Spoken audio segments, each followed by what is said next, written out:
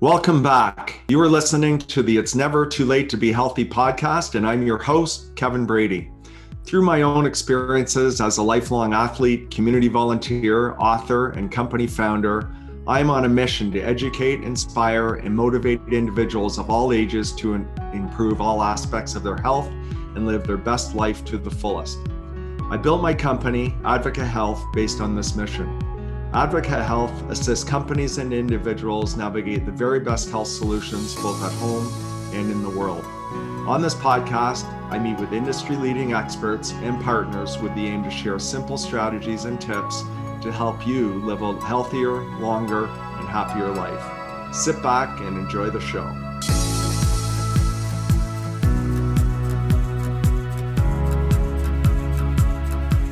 Good day, everyone, and welcome to It's Never Too Late to Be Healthy podcast. I'm your host, Kevin Brady. Today, we have a real treat for you. Uh, my guest on today's show is Fina Scroppo.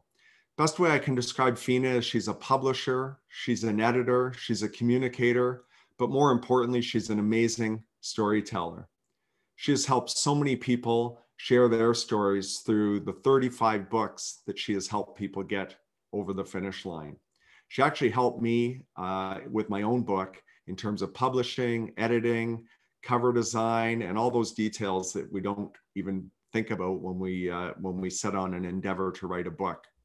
Today we talk about her career, some of the misconceptions or misbeliefs about publishing a book, the importance of food to healthy living, and we talk about her own book, The Healthy Italian. And lastly, we finish with the importance of food and cel- celebrating food with family. Fina, welcome to the It's Never Too Late to Be Healthy podcast. I'm so excited to be here, Kevin. You've you've turned the tables on me today. I'm usually the one who's asking the questions, so it's uh, it's a refreshing change. Well, you know what I was thinking, uh, just in anticipation of the podcast, how we basically were talking, if not every day, every second day or every third day for sure. a while there. And for our listeners, uh, Fina is the the reason I got our my latest book over the finish line. So thank you, uh, Fina. but I do uh, miss our uh, daily and weekly interactions that we had going there for a while. no, I, I think when people start writing a book, they don't anticipate the experience of you know, uh, making it a full-time project, even if it be, if it's a side project or a passion project, it really becomes something that's consuming, but in a good way, right? Because you're passionate about it, you get very involved. There's lots to do, and you build relationships along the way, um, and rapport. And I and I miss that too. I, I I really enjoy working with clients on books because I know how much work and how much passion they put into it and it's nice to have somebody to bounce ideas off of once in a while, especially if we're working in a silo, especially over these times where we've all been working at home and on screens. Um, it's nice to have some interaction um, that's a little different on a day-to-day basis. Yeah, well, and your your track record uh, speaks for itself. I understand you've uh, helped publish and edit over 35 books, which is uh, and and somehow you made me feel like I was the only project you were working on. I started at five and worked my way up. No, um, yeah, no, I've been very fortunate and very grateful to have been involved with so many projects and so many incredible people along the way with so many interesting topics. You know, in a way, it's my it's my opportunity to learn about the world through other people's stories, through other people's eyes, through other people's experiences.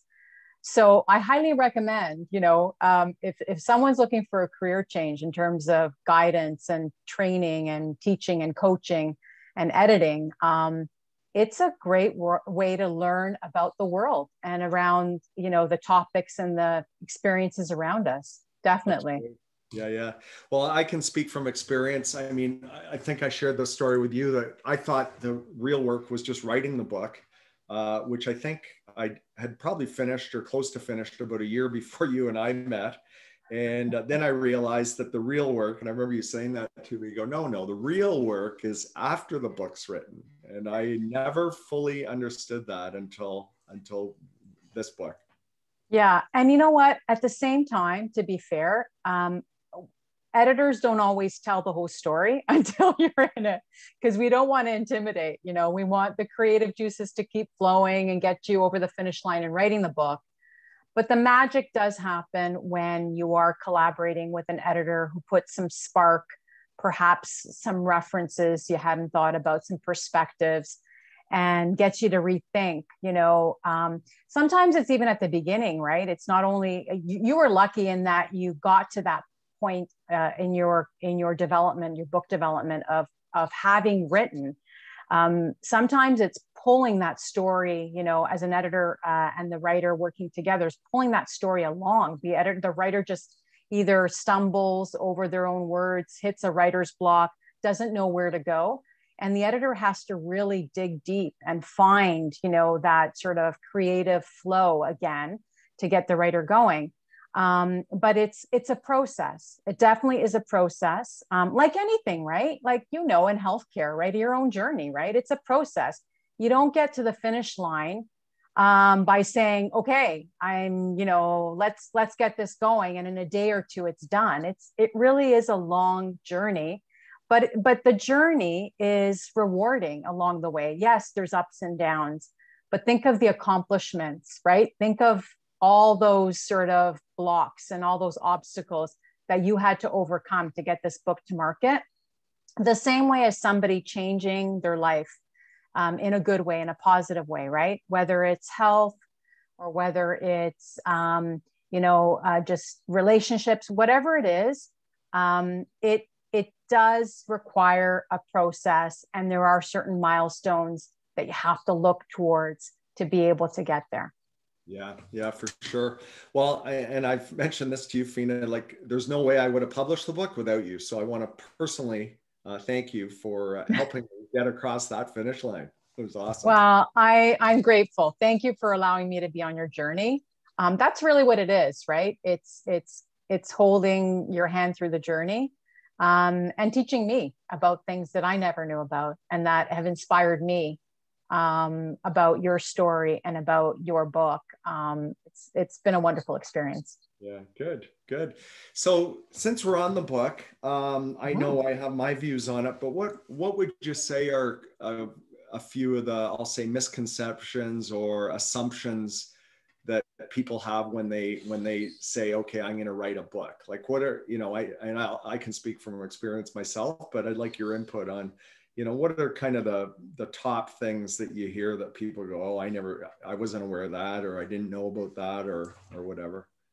Yeah no that's a that's a great question because uh, i hear it a lot you know i hear a lot of people saying oh i want to write a book one day or i've got a book in me i've got a story to tell you know and we all have stories to tell and i encourage people to write and to journal and to do whatever it is to share their stories use different medias to do that but when you're talking about a book you know because of the work that we just described the the the obstacles we're facing all those things the process we have to go through is understanding why do you want to write a book you know what's the purpose what's the passion do you want to tell a story that you think is relevant and will inspire people in their own lives like you've done? Is it an extension of a business card? Um, because you, you do something full time and you really want this as a complement to the current work that you're doing? Is it a passion? You know, is it something unique? I mean, there's a lot of reasons, a lot of good reasons why you write a book, but really understanding what it is you want to write because that will influence everything else, right? That'll influence what voice and what tone are you using what are what's the kind of information you're going to include the book what is the book going to look like how is it going to feel? I always talk about feel. I like that tactile because when we're talking about books for me it's a very tactile experience. What is that book going to feel like? What is it going to you know what kind of sort of reaction or emotion is it going to draw? Because it is an emotional connection. Um, so you know the desire to tell a story may not be enough. You really have to you know do the work and understand what it is you want to accomplish with this book. I mean i uh, some authors will say i don't know i just sat down one day and it came. And that's that's a gift i have to say. Even for a professional writer and editor like me it's a gift. Um, but for the for the majority of us that's not the case. And we've got to work at it. And uh, and so starting at that would be a good idea. Of course once you understand that, then it's planning the time and making the commitment. You know, it's not just, um, well, I'm going to write, and I'm sure as I write, it will come, right? right, Kevin? Yeah, yeah, How, yeah. Right? Oh, uh, you wish, right? It's it that doesn't happen. You know, there, there even for the professionals, there are um, there are things that we have to plan when we're writing. We have to make a commitment, perhaps it's an hour commitment a day. Perhaps it increases as you get closer to the finish line. Um, what does it mean in terms of our schedule? How are we going to schedule those blocks of time? Because if we lose too much time in between, we might lose our train of thought or we might lose the creative flow or the inclination or the inspiration, right? So that's important. Um, so you know, a work back. I live by my work back schedules. Um, I wanna I want a markers to at least keep me on task to be able to meet those deadlines. So that's really important. And you know, I'm going to be biased here. An editor is important, and I'm not just saying that because I'm an editor. It's it's all the things we talked about, right?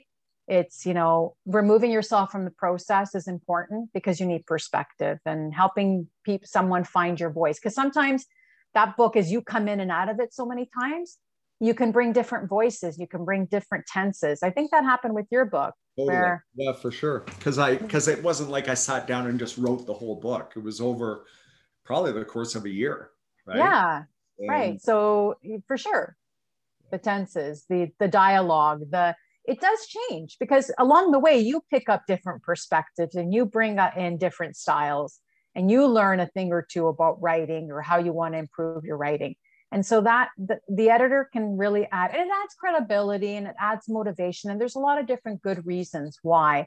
I'm not going to oversell it but i but i do think it's important. I had um i had the pleasure of working a lot of great people but i had uh, one um, client in particular um, where i had the opportunity to work on five of her books um, she was uh, she's awesome i don't think she's done writing by the way um, but uh, you know, she always said that that, that the the value of an editor is important um, to her process, and it and it encouraged her to keep writing. So I think I think that's important too. And the biggest one, um, I shouldn't say the biggest, as important as make as writing a good book um, is marketing. yeah. um, and we forget about that, right? It's really important. A great book, and now what? How are you going to reach? How are you going to get it out there? How are you going to reach the right target? who's going to know about it um, where does your target audience live how are you going to approach them you know and, and it's and it's all the great things you're doing with your book um, you know is it um, developing distribution channels what do they look like are they the traditional amazon indigo chapter um, type channels is it in walmart is it in other retailers does it make sense for your audience maybe your audience lives somewhere else you know are they on are they on socials? On, on is it a digital marketing program that you have to buy into, which obviously in this day and age is, is probably a very important consideration. So how do you reach them? You really have to, to understand um, marketing. Um, and uh, kudos to you because you got it from day one that this was something we had to focus our energies on.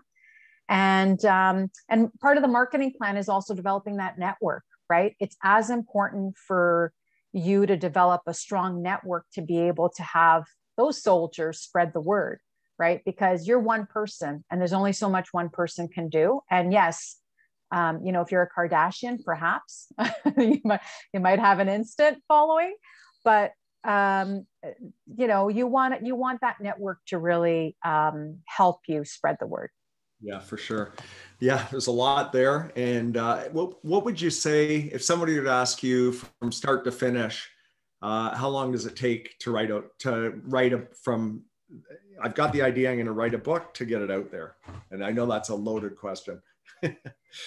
yeah, and it depends on the author, and it depends on your support network, and it depends on the process, and it depends on the book, and like there's a lot for sure, a lot of different um, things you have to consider, a lot of considerations for sure.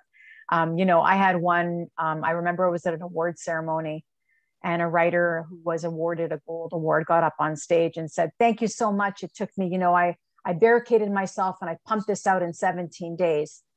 And I just almost fell over. And I thought, How? But, you know, he had also written 10 other books. and he also had a team behind him and he also afforded the opportunity of barricading himself and so on and so forth. So that's possible unlikely but possible. For most of us it takes a good year and a half to really get the story down to develop it. You know remember even even when you've written the book there's all those editing stages right? A good number of editing stages um, to be able to go back and refresh and add and layer in that content. So an hour and a half uh, excuse me a year and a half is typical. And then you know it just depends on the editor and how close you work with the editor and how much work it, it involves and the team behind you. So I, I'd say work with 18 an 18 month schedule, do a work back and see if that makes sense for you. And of course, you know, there's times where you speed that up and there's times where you need more time because life goes on. And sometimes, you know, you're pulled into things that didn't you didn't expect to be pulled into and require more time. Yeah, yeah, for sure. Yeah. And I'll ask uh, to summarize, what what would you say is the number one um, misconception that people have um, when they when they go down the path of writing a book? Ah, Jesus, lots. um, I'm gonna say that because they've worked so hard at the book and they're so close to it and they're so passionate that they feel that everybody will see that. And unfortunately, they don't always see that, right? Unfortunately, um, you do need that plan in place. You do need the marketing in place. You do need other people and your network, your friends, your family to spread the word. Obviously, you know, you have to get behind the book and you have to be as passionate about it from, you know, day 365 to from, from day one, you know, like, and, and, and every, anything in between, you have to really be passionate about it every single way, um, every step of the way um, so I, I, think people have the misconception that my work is done. It's a great book, and it probably is, but you know, it it will not sell itself without some hard work behind that. Yeah, for sure. That's what I. If you were to ask me, I would say I would I would echo that. Just saying, yeah, when the book's written, it, you're not done. There's so much more to it, right? And you know, you know, at the end there, I think we were we were having meetings, uh, the three of us, Vanessa, yourself, and myself I don't know, every week for sure, minimum once a week. So, for sure, for sure, to keep everybody on task. And and yeah, that that network of people to help you is definitely important. Um, I would, yeah, I would say that you know if you can do that early on and get a team and get resources and get people behind you and build that network, um, that's really important. And some people have the benefit of having that network already in place. I mean, you know so some people might say well it didn't take me a year and a half and the marketing uh, efforts were a lot more sort of tighter than what you're talking about they may have worked, say as a blogger or as an influencer or as somebody in their work they may have worked that you know to get to that point may have been years of work where they were developing a personal brand they were developing a voice they were developing an audience. And so if you've got that wonderful. You know you've already got that platform. So be able to so to be able to bring whatever you know over those years you've learned and you've developed to interact with an audience and you bring it to a book it may take you a shorter amount of time. It may set you up nicely. Um, there's still work to be done but some of those things were already done. But that i still consider that process part of the book process because in some ways people who are influencing or blogging are thinking about that as an opportunity to open doors for other opportunities and one of them being a book. You know mm-hmm. everybody i think who, who has a story to tell um, think about you know the presidents and the prime ministers and all you know all those people who've been in public office or have been at a corporation or who have implemented some kind of system. They want to be able to tell their story um, beyond just you know a minute or two in an interview. So those are the kind of things that will definitely set you up for success. Yeah for sure. And i again i can speak firsthand because uh, as i said i would not we would not have the finished product if it wasn't for you Fina. thank you for that well listen it, it's it's as much for me an accomplishment as it is for my writers because i feel like i fail them if i haven't brought them to market or i haven't set them up for success um, and I think that's why I, I choose my projects very carefully as well. I I take great care in in um, thankfully having the opportunity to sometimes even choose the people I want to work with because um, I want to work with great people. I want to work with great stories and I don't want to let them down. So I want to be able to give them the amount of time and the amount of energy and the amount of expertise I need to, to, to do to be able to see them succeed. So um, I, I, I'm just as thrilled it, it, shows it shows for sure in working with you and I, I the energy that uh, our listeners can feel right now through your voice is the same energy you had every time i talked to you so awesome. yeah no it's I, i'm lucky. I'm lucky for sure to to have brought all that together. Yeah, yeah. good. Um let's step back a bit. Like how did you even get into publishing editing the, the book world? And and uh, then we'll also talk about your own book as well. Yeah. Um, you know, it um, I, I, knew from a very young age I it was about storytelling. Um, I, I was I was shy as a kid, so to be able to tell my story and to put myself forward was something that I wasn't used to and wasn't comfortable with. It was just it was kind of my upbringing. So I loved sharing other stories and I loved helping people share their stories. So I knew very early on my career path was going to be journalism, and I graduated from journalism, and it was an incredible experience and a wonderful experience.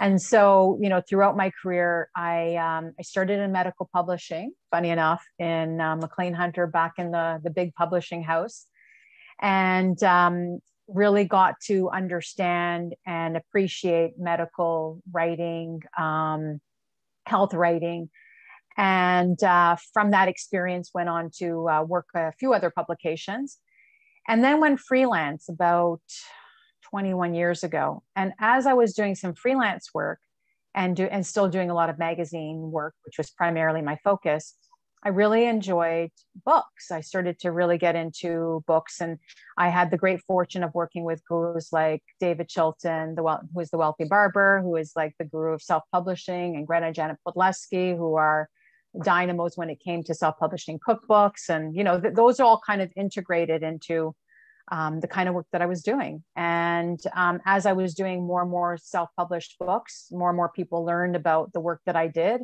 um, the publishing world was very defined. You know it was publishing and it was self-published and the two really didn't the two didn't help each other out although it's very different right now. And there weren't that many platforms and there wasn't that much you know um, I guess, specialty in that. So I started helping writers uh, bring their bo- books to market, and then I started to learn myself about, you know, the the um, the channels, the the avenues to get a book to market, and so it became uh, something I was very passionate about and learned to do, sometimes through trial and error, and sometimes through, you know, riding the coattails of of gurus that I mentioned and how they did it and, and setting using that model and then replicating it with some of the writers that I worked with. Yeah, great. Yeah. Well, and you don't just do that for others. As I said, you've got your own book, uh, The Healthy Italian, right? So, uh, can you share a bit about that along your your path and and why you wrote the book?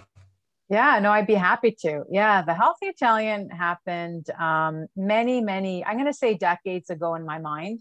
Sometimes, you know, it's not just writing and sitting and and and doing. It's it's something that lives in your mind for a long time. I think a, a lot of writers. I think you you said the same that you know it was a book that was in you for a long time, and um, uh, you know, eh, helping. Eh, there were there were two. I think there were two real reasons why, it, at least initially, I wanted to do it.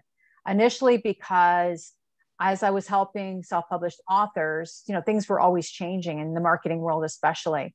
And I wanted to learn how to do it myself. I, I obviously consulted, I coached them, I took them through the journey. But when you really sit in a place and you do it yourself, boy, do you learn. Yeah, um, so I, I really wanted to sit in it. You know, I wanted to sit in it. I wanted to feel it. I wanted to own it. I wanted to tell about it because that was part of the story for me.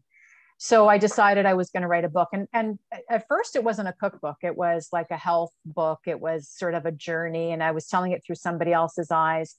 And, and I just thought, well, you know, I, I kind of shifted focus and I thought, I love cooking. I love teaching people to cook healthier. Um, I we can get into sort of my upbringing and my background, but um, uh, I every time I shared a, a, a recipe, especially an Italian recipe, something that was traditional and made it healthier, people are like, "This this is pretty good. This is great. I never thought to do this." Or my mom's always made it this way. I just always made it that way. I never thought to, you know, uh, exchange millet with rice or you know put barley instead of you know rice in a risotto, that kind of thing. And so i thought okay this is a personal passion. I think i think i can do this. So um, i sat down i started writing down all the recipes and i had more than enough of them. And then when i brought the stories to it it became it was one of the hardest things actually bringing the stories to the recipes believe it or not. Usually it's the other way around for most people. Writing the recipes is difficult but the stories got very personal and it was something i wasn't used to again i always told the stories through other people's eyes and now the spotlight was on me and sharing my stories. And I really had to dig deep and find my own voice. Um, and that was all at the same time when, you know, Instagram started to come about and people were starting to develop their own personal brands. So while I was doing this book, my personal brand was developing a little bit. And I had to kind of find my place in the whole sort of influence spectrum. And that was an incredible journey as well. So the Healthy Italian came about um, because I was, you know, basically a busy mom trying to make, you know, trying to balance life, who wanted to tell a story, who wanted to inspire people like me, who were in my same sort of filling my same, the same shoes I was filling, trying to get a healthy meal on the table, preserving and um, honoring the traditions that I was brought up with, and yet doing it in an approachable and accessible and a healthy way so that I would then in turn inspire my family to to do the same. So a lot of what you did, Kevin, like just in a different way, right? Yours yours came in in a different way. My mine came in through the kitchen, you know, through food and the love of food. But really, I think ultimately we're doing the same thing. You know, we're inspiring people to take a look at something that obviously influences not only their personal health but their family's health and the community around them. And um, and just look at look at it from a different lens and finding accessible approachable ways like your four four wheels of health at approaching these things things that something that people can do quite easily for themselves yeah, no, that's interesting. The uh, the parallels because I actually hadn't thought of that. But at the end of the day, I think both of us are just trying to inspire others to lead healthier, happier lives. Right. Hundred percent. hundred percent. That's exactly right. And and your four wheels of health, to me, are kind of a foundation. Are um, the same kind of foundation I think for a lot of us trying to get out there, inspire inspiring people to live a healthier, happier, more fulfilled life, right? And these are the, the, the basics, the foundation or the core of what it means to live a healthy life. Um, and all these things are important and I, they're equally important for me and they're equally important when i go on the road and i talk about my own journey and my book and where that book fits into those those wheels those spokes right yeah yeah. So uh fina would you mind sharing what is your like if your your backstory i'll call it or your family? Obviously food is super important to you. Healthy eating is super important to you. Yeah. you shared that you're you know the reason you did it was to get the, your story out there. But so what uh, if you wouldn't mind i'm sure it goes way back. So if you wouldn't mind how uh, far back do you want me to go? No. I'll be kind i'll be kind to the listeners. um, no it's um yeah no uh, without a doubt we're foodies um there's a lot of different influences that have shaped my own um experiences in the kitchen and the book itself and the cooking classes that I now do and those kinds of things. So, you know, my journalism career obviously influenced the kind of book I was writing in terms of structure and format. Um, my dad, my mom and dad are from Sicily in Italy. Um, it's the most Beautiful. southern island. Yeah, it's the most That's southern island. Places. Yeah. Beautiful, right? I mean, did you did you do a bike ride? Did you do a cycle? I, um, I did. Uh, I was in. I, go, I I do a race over in Sardinia. oh, in um, Sardinia, right? But uh, we went to Sicily after Sardinia one year. My wife and I, Barbara and I. Yeah. Right, right. So you know that those islands are they're a haven for Mediterranean foods and um, all things. I mean, the things that grow there and the, the, the accessibility of that kind of food was is just amazing. So I had my dad and mom who influenced and um, our cooking because at, at, our at the heart of our cooking was Mediterranean ingredients.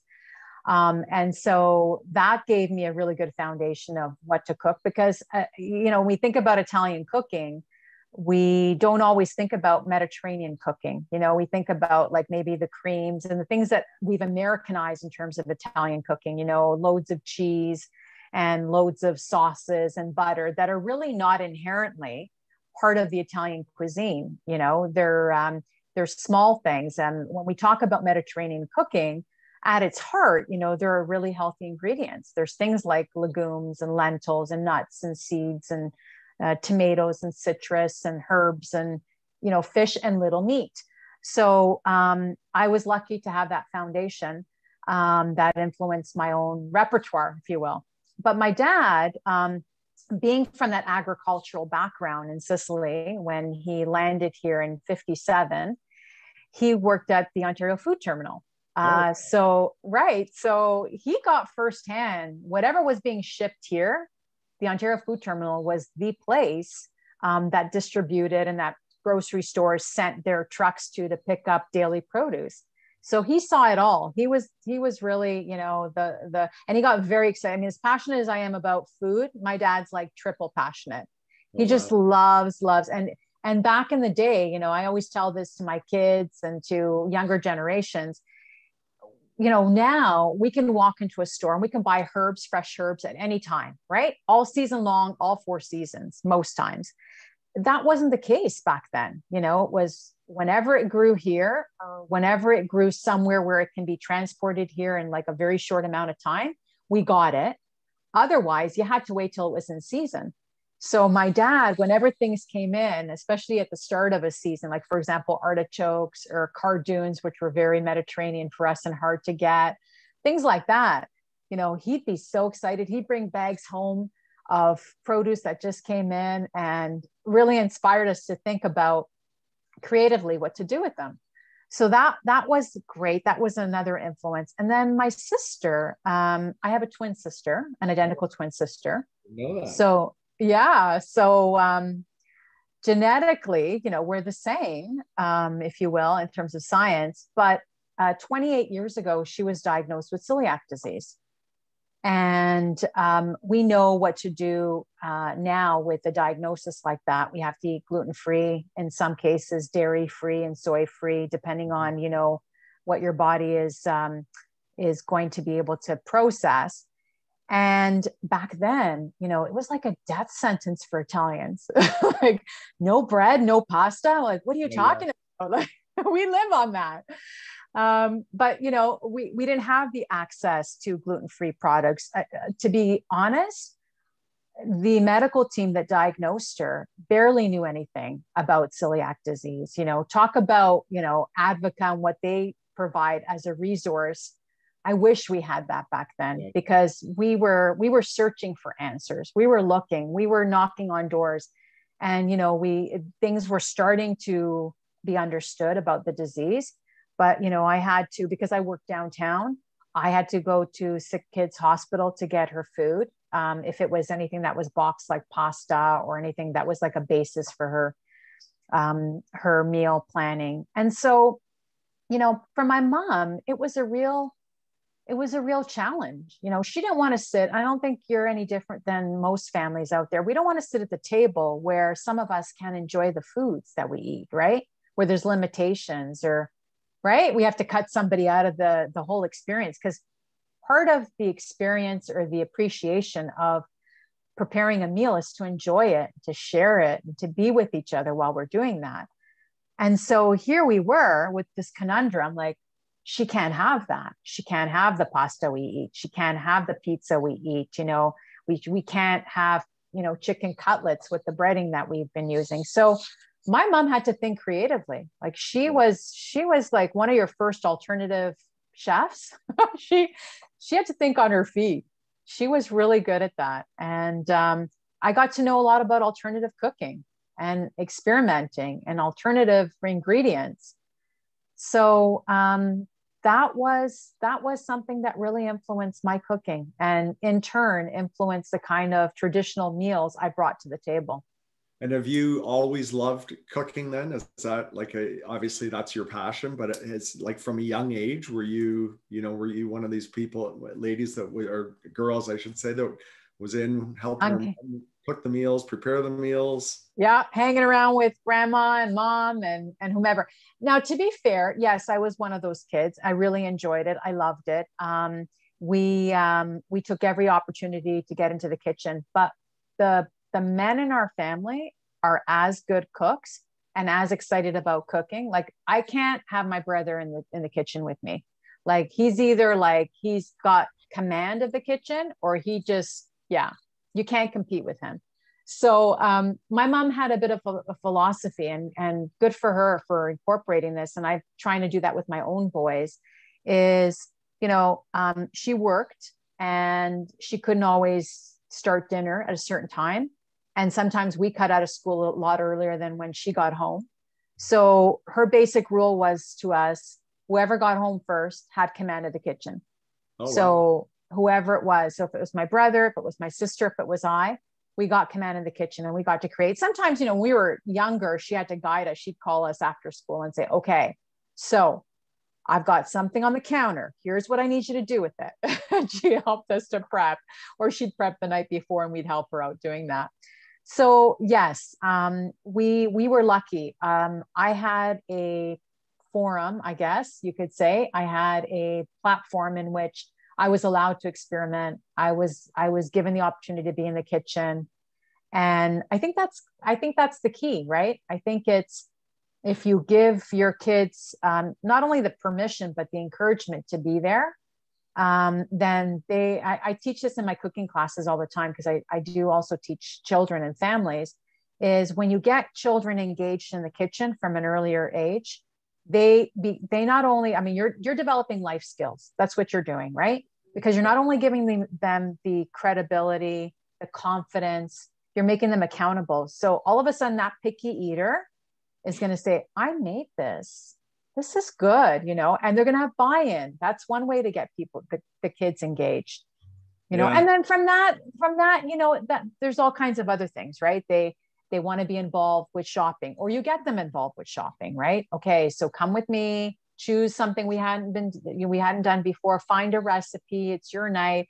You know, you, you try and integrate. Yes, there's distractions. I'm not going to lie my boys aren't always engaged you know there's things called screens that hold their attention sometimes a lot longer than i want them to be um, focused on but um, but at least they have the opportunity to be there um, if they make a mistake it's okay. That's where that's where you want them to make a mistake so they learn from that.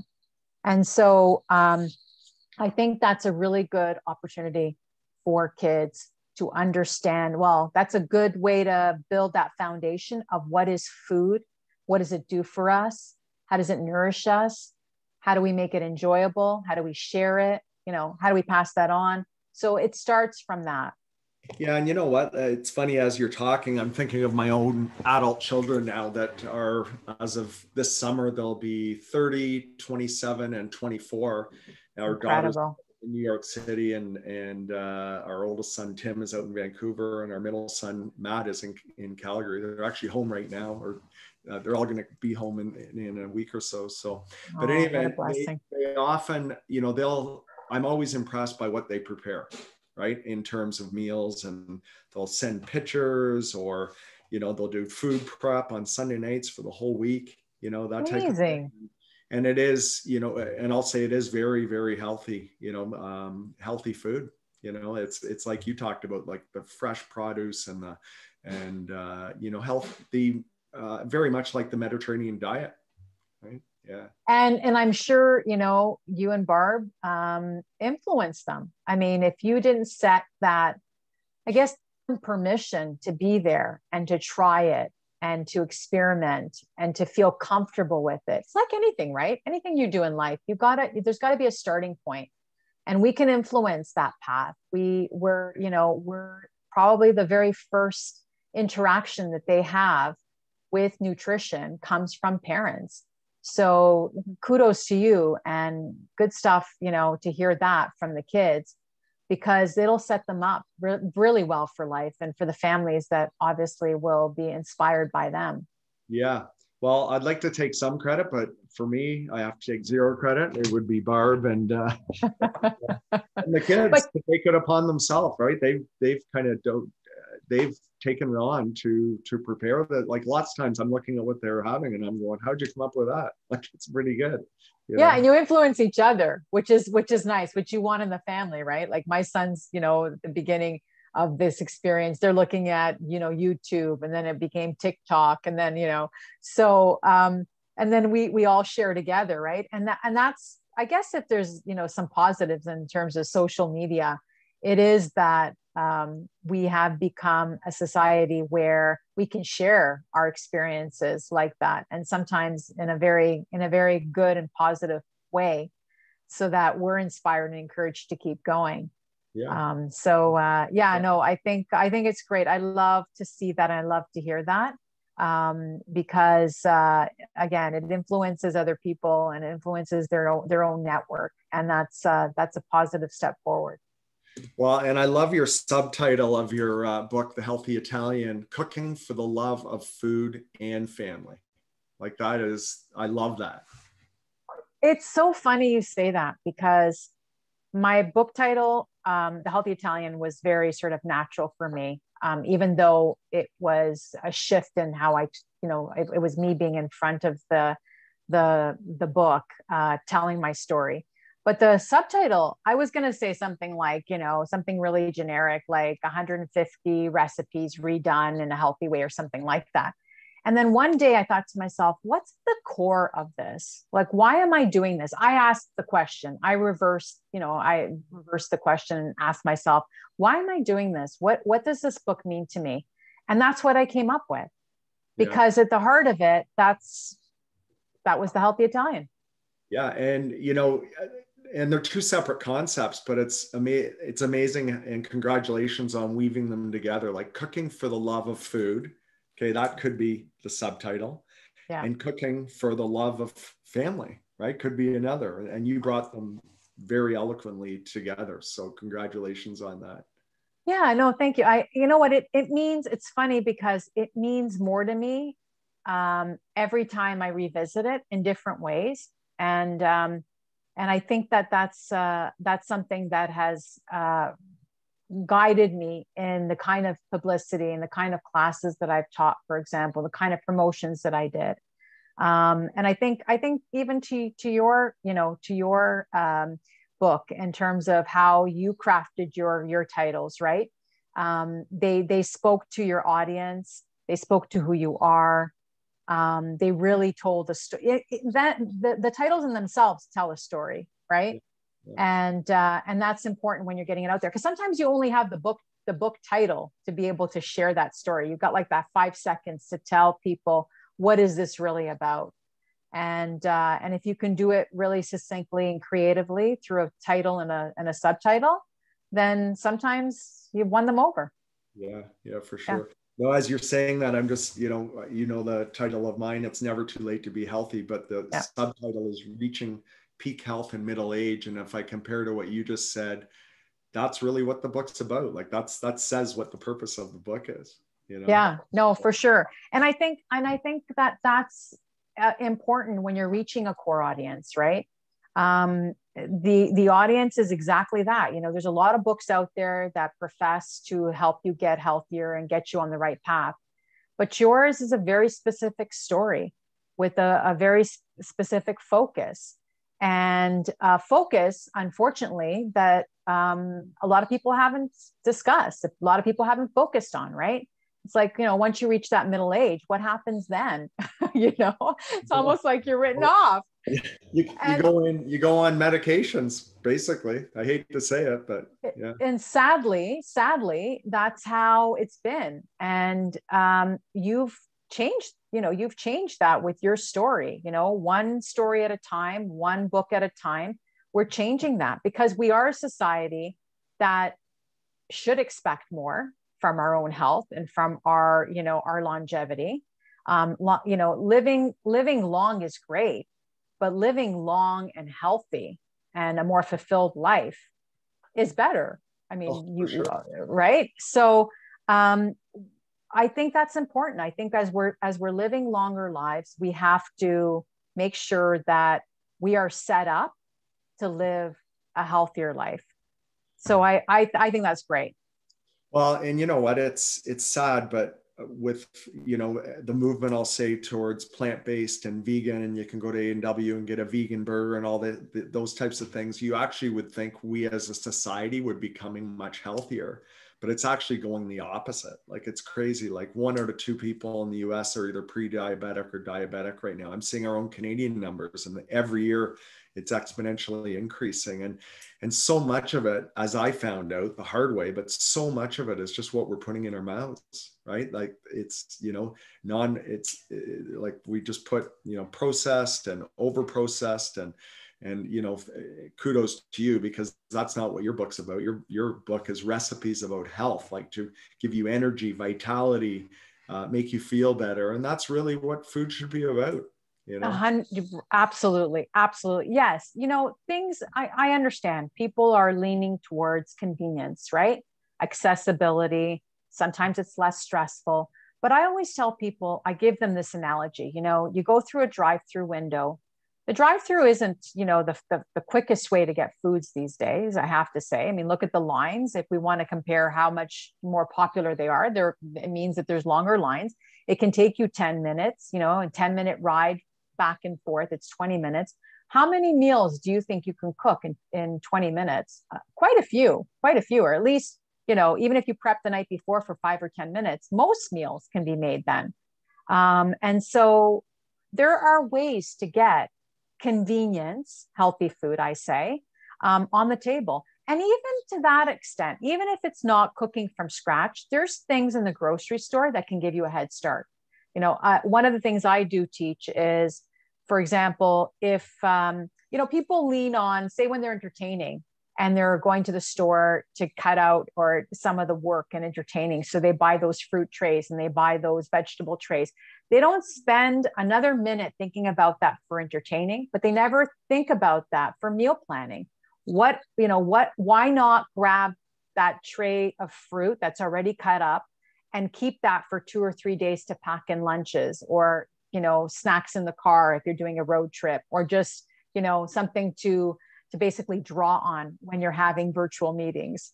You know what's wrong with what why is that uh, not a, uh, something that we invest in when we're prepping for soups and stews? Vegetables already cut, cut up a variety of them. So there there are conven- and you know there's there's pre um, cut foods that are the grocery store is now preparing for us.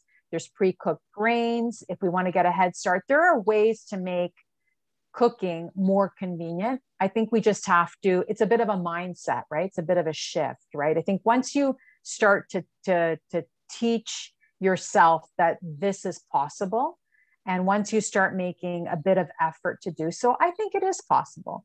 Um, i think it's possible for most people. Maybe not every night you know and that's okay yeah, but, well, it gets but down to Mari. You've heard me talk about the 80% rule, right? If you, you think of 80% of the time, if you have 10 servings of food today and eight of them are, are healthy for you and non-processed, that's pretty good. Right. I think, so, I think that's, that's awesome. Yeah, that's awesome. And to your point about, you know, some of the convenience foods is, you know, your Wilson shake, right? you want something on the go you want to pack nutrients and and great ingredients and a tasty way to get um, uh, fulfillment and nutrition, why not, right? Why not something like the Wilson shake? Why not um, a shake to go? Um, there are ways for sure to make convenience foods accessible um, without uh, being he- unhealthy and having to go through the drive-through. Um, because there are there are definitely um, the, the, one thing that the grocery stores are doing that I'm, I admire is that they are uh, thinking a little bit more creatively. Yes, they have some prepared foods, but um, if you can kind of match that up with some home cooked meals, then at least you feel like you know you're getting ahead or you're conquering that whole dilemma of what's for dinner tonight. yeah, yeah, yeah, for sure. yeah. you know and cookbooks and cookbooks help in that regard right there's cookbooks there's apps there's all kinds of social media engagement that help people do that. And now as i mentioned before in the grocery store you could get almost everything you know within for sure three seasons sometimes even four seasons. So that availability of ingredients um, and that influence even of international cuisine we're lucky where we are and where we live. Um, the breadth and the depth of that kind of inspiration is all around us and you just have to you just have to be open to it. And you have to be avail you know uh, pro, you have to approach it in a way that's positive as opposed to looking at it as a chore which unfortunately sometimes for some people it, it becomes. Yeah yeah.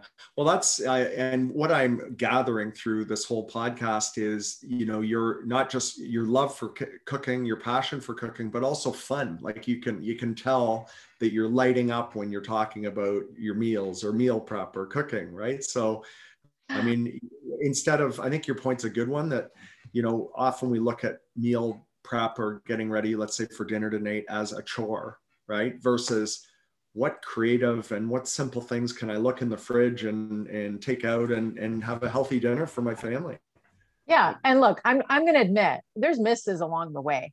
You know, there's stuff that my friend, my friends, and my family. I mean, my friends are probably kinder to me, but my family will say, "Okay, that's a no." yeah, yeah, yeah. So you know, I, I, you know, I like to think that most times I hit it, but you know, experimentation is part of the process, and you learn along the way. Um, but yeah, I love experimenting. I love getting people to experiment. Um, and I love swapping things in and out. And it's that whole sort of um, feeling of having found, you know, having uncovered something um, that I didn't think could work um, in, a, in a meal, right? Swapping out an ingredient or adding in something that was a little bit sort of risque in terms of, you know, the palate um, I love mirroring sweet and sour, for example. I have fun with food, like you said. I it, it, otherwise, what's the point, right? yeah, what's the point? I love I love pairing up ingredients that are a little bit unusual, um, just just because you know I want to push the boundary. But but then again, like I that's my creative outlet, right? For a lot of people, I I don't I, I admittedly for some people it's not like that. But I think as people become more comfortable and confident in the kitchen, um, they feel like they they can they can definitely play with their food a little bit more and experiment yeah. a little bit more well as you know in in my book we there's over 30 recipes and i kind of you know personally i thought ah there might be the odd person that pays attention to the the recipes i'm getting like daily notes emails pictures people sending me pictures of i had the wilson shake or i had the vegan mac and cheese or uh, Matt, uh, my son Matt, and his girlfriend Jenny went to friends of ours out in Calgary, and Matt said, "Oh yeah, they had the they they had the guacamole. They had." She said he said the whole book was like tethered of where they marked all their favorite recipes and everything. So I, you know, that's that was music to my ear. Yay! Yeah, um, I knew it. I knew it. Listen, uh, at at the heart, you know, for most people, food is what's going to get them right. Food is a conversation starter um, yes, it's it's something that obviously fuels us and gives us, you know, lots of great nutrition. Um, but at the heart of things, you know, it it's a common thread. For most people, it's an enjoyment, you know. And so, and I always say the same thing. Like if I remember doing a radio show where people where a host said to me, Italian and healthy, isn't that an oxymoron? Like, really? Obviously, and I said, never been to Italy. right. And I said, no, it absolutely can be healthy and it can be enjoyable. And look, I'm not going to tell you to make something healthier or tell you to swap something out if it's not as tasty. I'm not going to compromise on taste. My family won't let me. Like honestly, you know, you think my family is going to going to put up with that maybe for one meal, but if that's how I cook and I continue to cook, my family's going to call me on it. So it's got to be as tasty as it is covering off all, you know, checking off all those other boxes. So um, yeah, I, I, it has to be, it has to be something that um, that connects with with with everybody and is an enjoyment for everybody. So that's great. Uh, do you know which recipe primarily you get the most um, compliments on? Uh, multiple, and I think you know most of the recipes we put in were very simple, simple things to prepare. Um, but you know the quinoa burgers. Well, a lot of people know I eat that that stuff anyhow. Or the veggie burgers, the mac and cheese, um, mm. even just simple, you know burritos. Like every like you can have a healthy burrito. You know, but right. don't realize that. But uh, yeah, uh, and of course the vegan fudge. That is that's a the hit fudge. for you know what? I haven't made that yet. I'm gonna I'm gonna try that. I actually was looking at your book the other day, and I'm like, oh, that's good. I got to try that. That's um, my cheat. You know, my cheat, my vegan fudge. That's my cheat. Do you have that every day? Not every day, but no. probably four or five nights a week. I have a little piece of vegan good fudge. Job. Good job. yeah, you know what? I think you're right. I think sometimes it's the simplest things we never think will really sort of um, hit a lot of people and and people gravitate towards. But i think our lives are so busy you know that people do want easy approachable and they and they do lean on those those comfort foods right? Um, those comfort foods are are uh, something that connects with us that i think everybody loves. I mean mac and cheese my kids you know they they love homemade mac and cheese. And um, and so i think that's why you're getting a lot of that that kind of uh, feedback. Yeah for no, sure. great, yeah. great. well i'm not sure about you fina but all this talk of food i am like starving right now so i'm pretty hungry too then so, again, I'm always hungry. we've been talking about food for, for, an hour, so it's uh, it's a great topic, and and I just you know love how you brought it all together. And it's not just about the food; it's about the fun, and it's about family, and it's about you know showing your love and appreciating meals and and appreciating time together, because that's really what meals were meant to do, right? To nourish us and bring the family together. And I think, unfortunately, I think with our fast-paced world uh, in many cases we've lost some of that togetherness that that food can create for us. So yeah. uh, love what you're doing. Um, what's the best way? Likewise likewise what's the, yeah what's the best way for people to uh, get a hold of your book? Because i'm sure after uh, after we go live with this there will be people asking. So what's the best way to get a copy? Yeah people can check out uh, my website. It's uh, thehealthyitalian.ca um, there's uh, some links on socials that people can connect to and uh, yeah, please do check it out and uh, feel free to drop me a line. I'm happy to help um, in terms of uh, either people wanting to know more about how to put meals together or how to put a book together. Um, and also, um, if it's a, uh, in terms of book writing, they can also access me uh, through um, Integram.net, which is the company that I'm uh, happy to be partnered with um, and helping small businesses tell their stories, uh, whether it's through books or through their socials or through digital marketing uh, platform. Um, people can check out any of those two sites and uh, check it out. Yeah. Awesome. And I'll endorse it because uh, the help that Integram and yourself personally gave uh, gave to me, as I said when we started out, I don't think this book would be published without you, Fina. So thank you for that. Thanks, and, Kevin. Yeah, and thank you so much for uh, joining me today on our uh, podcast and uh, look forward to our next uh, chat. Yeah, it was fun. Thanks so much for having me. Really appreciate it. Thanks, Fina. Have okay, all the best. Thank you. Bye.